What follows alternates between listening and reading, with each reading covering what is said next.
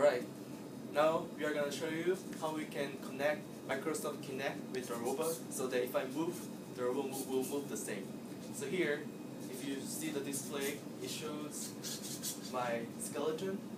So if I move, the robot move, will move the same. So here we are using ROS robot operating system to control the robot. And we combine some of the packages that have been done by some other people and then we did some our own work to make this work. So right now we are only showing this this bioloid robot, but we can easily uh, like transfer this one to the Darwin robot that is over there.